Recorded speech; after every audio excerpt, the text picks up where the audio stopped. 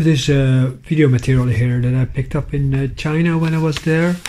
And these are recordings from things I found in nature, animal, plants, mountains, landscapes. I went on a cave retreat. Here, in this cave, you can see it here. On the top cave, there are three caves on top of each other. This is where I went in retreat. This was uh, close to the cable cart, but I couldn't see the cable cart, and I could see below here when everything was still very small that time. And uh, everything looked like a mold eating away itself into the landscape. I knew I was very close to the cliff because of the water. And uh, the cliff here, the crack there, uh, even have a Chinese character on the wall, painted there a long time ago by Taoists. Uh, all very beautiful and uh, it's all relatively clean compared anyway to where I live here in uh, the Amsterdam area metropole and I wanted to collect it because I wanted to make a movie about the nature in this area and then I was going to talk about the plants and how they can use, be used for healing and the animals that live here and the little dramas that play out in nature of course. But um, yeah, on hindsight, I think I'll better do that a little bit different.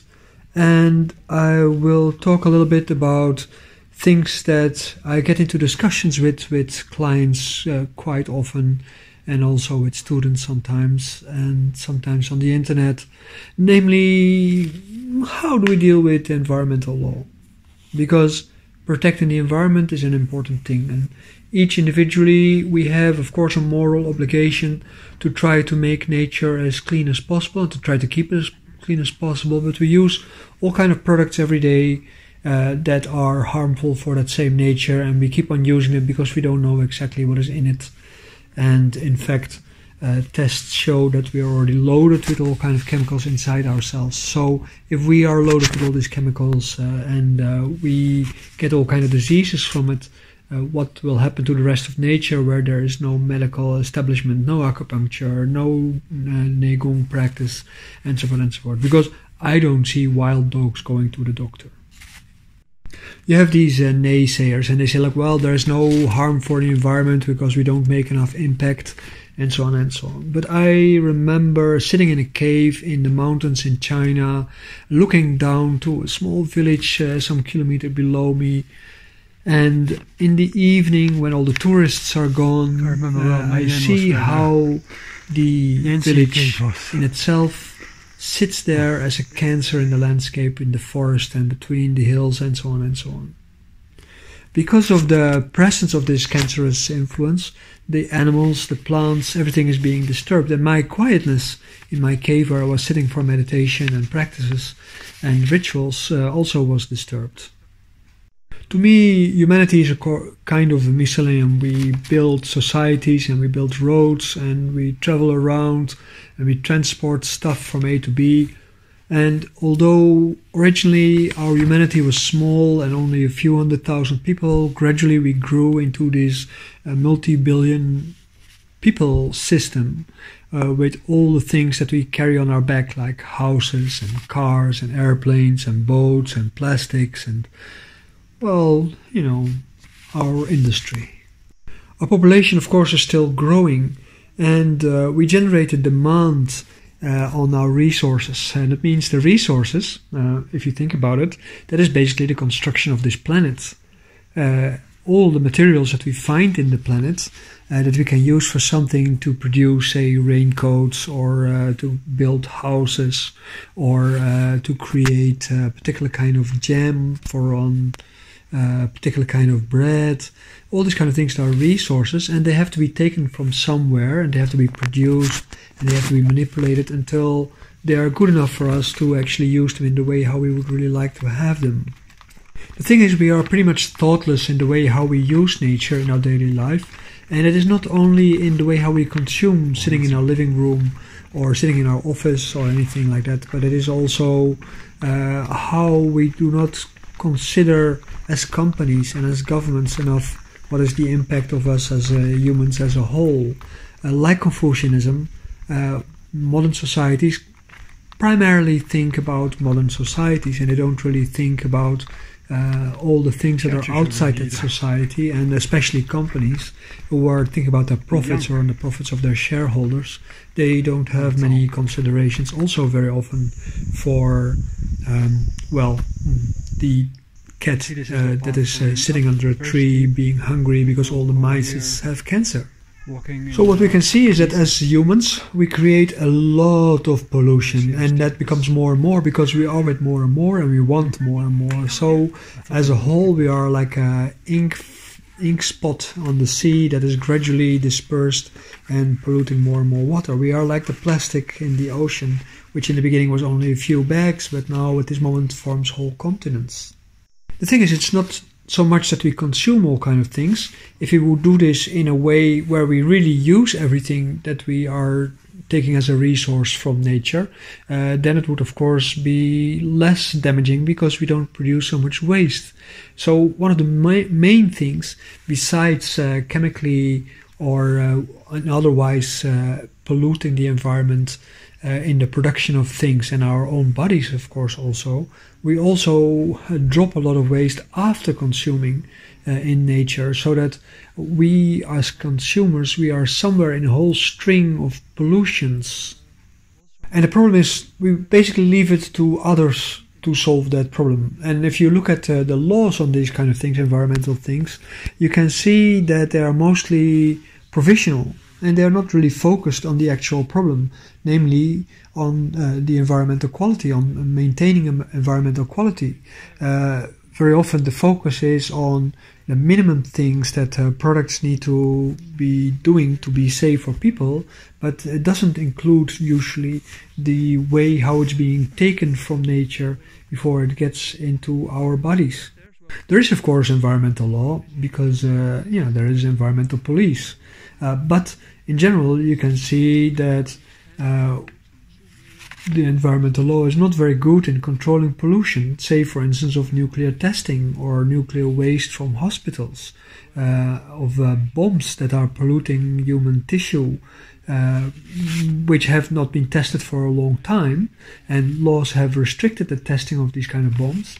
But the effect is uh, noticeable into the present time because, you know, it decays very slowly and uh, keeps uh, involved in influencing people all over the world and animals and plants. So the environmental law does not take so much into consideration that there is a natural ecolo ecological coherence uh, for the whole, and it is not just about uh, people and what we do with it. The problem is, I think, that people see themselves as the top of the food chain.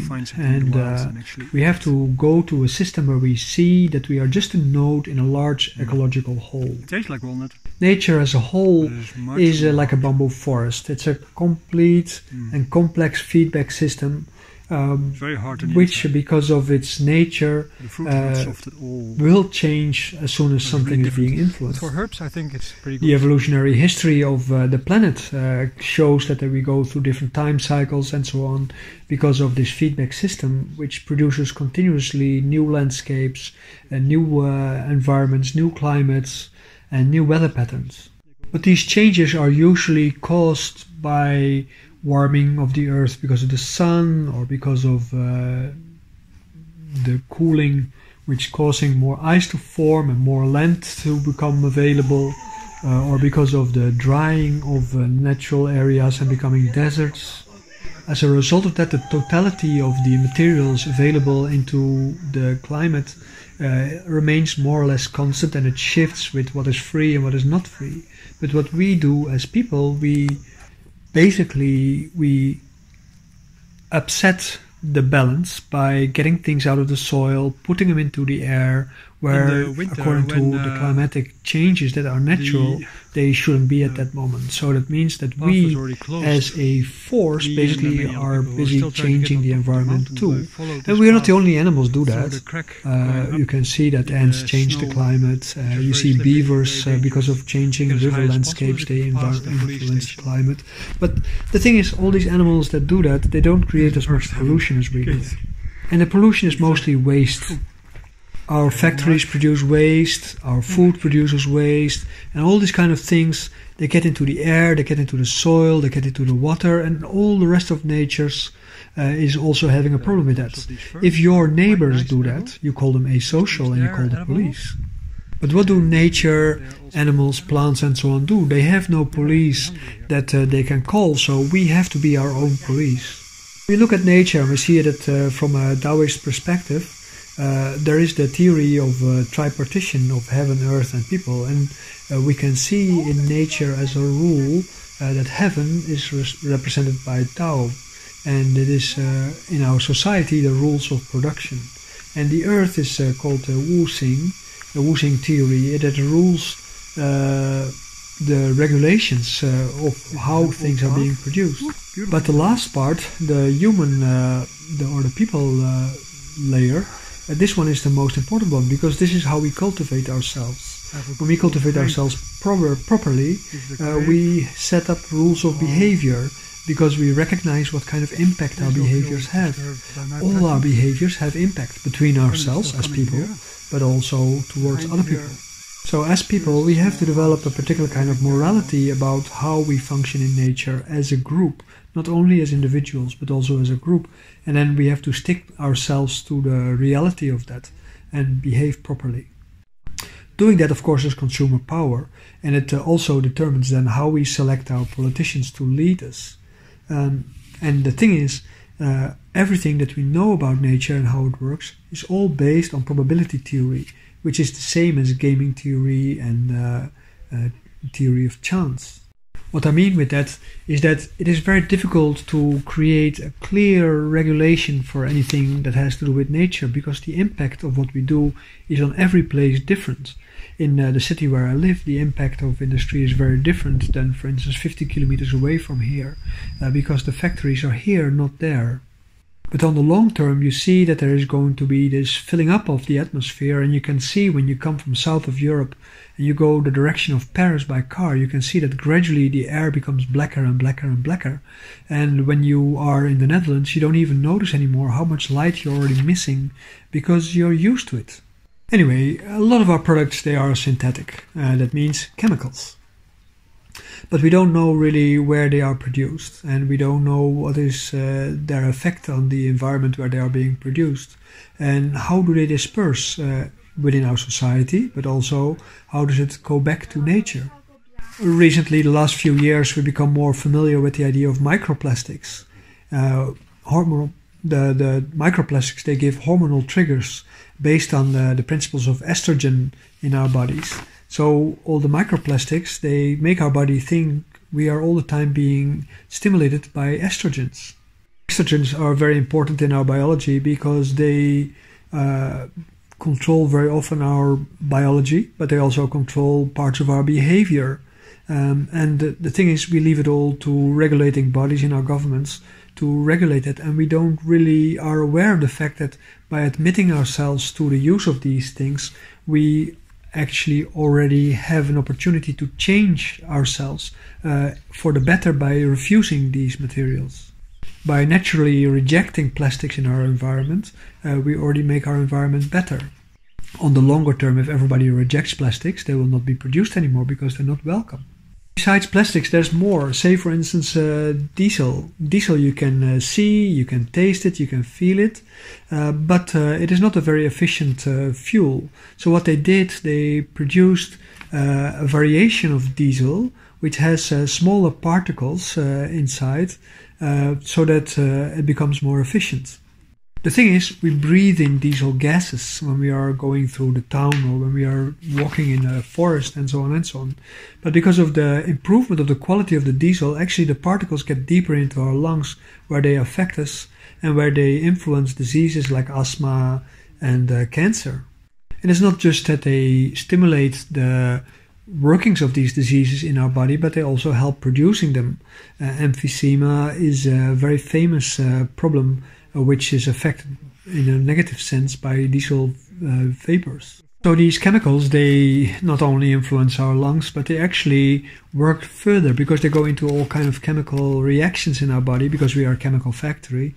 And then as a result of that, they're being transported deeper and deeper into our body where they reside sometimes for years before they really become really destructive.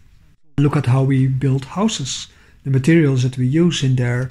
Uh, I just have to mention the name asbestos, and for most people, we know already like, okay, uh, when you breathe in too much of that kind of stuff, you really have a problem with your lungs.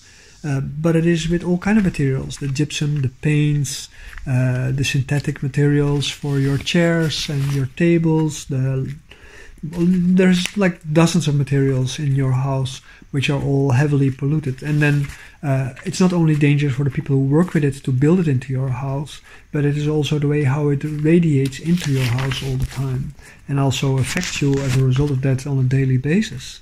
We complain about the draft in our house but the biggest problem is not the draft which gives us gives us a cold. The biggest problem is the house itself so the question is, of course, who is to blame for all these problems? Is that we ourselves as consumers because we refuse to reject these things? Uh, uh, partly because we don't have any alternatives, but partly because we don't choose for politicians who really are willing to uh, lose their career over uh, make, affecting change. Or is it the politicians and the businesses who are unwilling to change laws and regulations so that uh, commerce and economy can uh, keep on flourishing? Because that is also, of course, an important uh, problem that we face is that we want our economy to flourish and not so much our health. No, then there's all kind of other factors which also play a role, like companies. They don't really want to tell you what is in their product because in that moment uh, anybody can copy their product and then they lose their market share. So you see, it's the commercial market primarily which is uh, causing the problems. Like if there would not be commercial use of products, we would just produce products and make them when they are needed, but everybody would know what is in it, so we can work on an improved product. If we just let go of the idea of economy, maybe that way we can save the ecology. So I hope you really like this uh, video and uh, the team. Uh, we can do a lot more on uh, ecology and economy and I took uh, inspiration from this uh, uh, video partly because of watching a documentary, no, a college on ecological law uh, from Yale There's University. And I uh, hope uh, you are interested in this subject and take into your heart that, um, well, you have a lot of things that you can do in your daily life, and through which you do these things successfully, you also convince other people to to work with that and to do the same. Personally, I believe that uh, everybody in his life should have a particular level of activism to make sure that he or she guards the future safety of uh, our children and generations after us, even if we don't have any children. Um, it is very hard, I understand that very well. It is very hard to make the right kind of choices and to live disciplinary in it because it is so much easier to uh, let go of uh, our continuous worrying about these kind of things because you know comfort is also something to save for. The thing is though that our continuous uh, discipline on improving the world and our living environment uh, is affecting a lot of different kind of people. So personal activism i think is a way of helping us to become happier people because it also means we are able to take control over the world and over our lives, even if it's only on a very small scale. And of course, it is disappointing if you can't take a plastic bag from the supermarket.